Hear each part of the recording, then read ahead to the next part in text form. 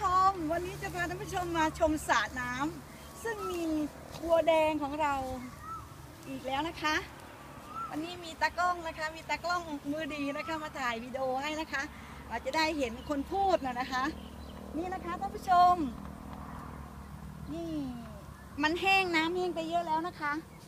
น้ำแห้งไปเยอะแล้วนะคะเออเราก็จะใส่ เราจะใส่เออไซนะคะ หรือภาษาเขมรของเราภา ษาเขมรเราเรียกตรูระเบิดนะคะ นี่นะคะจะมีหนึ่งสองสามสี่ห้า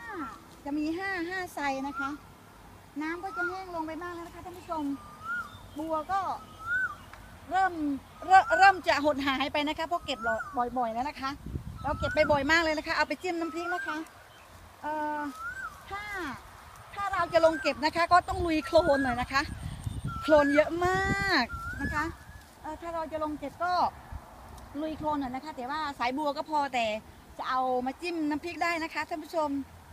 เอ่อเดี๋ยวจะให้ท่านผู้ชมมองสายบัวที่มันอยู่ในน้ำตื้นๆชัดๆนะคะเดี๋ยวให้ตากล้องเข้าไปถ่ายอย่างนี้นะคะ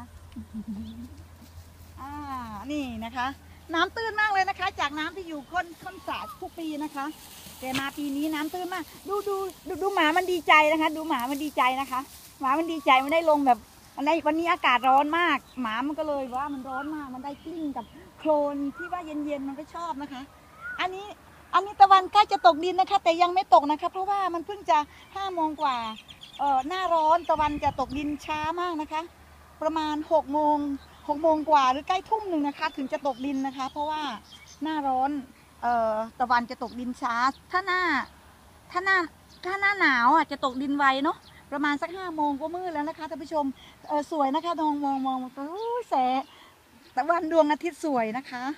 ส่วนข้างล่างก็จะเป็นมีหญ้าแซมอยู่นะคะ วันหลังเราว่าจะเอามาเหยียบแมงกระชอนนะคะ หรือแมงซ่อนนะคะ เราจะขุดขุดขุดขุดขุดขุดขุดดินนะคะ แล้วก็สาดน้ำขึ้นมานะคะแล้วเราก็เหยียบเหยียบเหยียบเหยียบก็จะมีแมงกระชอนหรือแมงซ่อนออกมา เดี๋ยวจะลองดูนะคะนน่าจะมีนะคะแมงกระแมงกระชอนนะคะ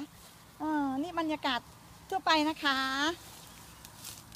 บรรยากาศทั่วไปคลิปนี้เอาไว้แค่นี้ก่อนนะคะ ไว้พบกันใหม่ในคลิปหน้านะคะ สวัสดีค่ะ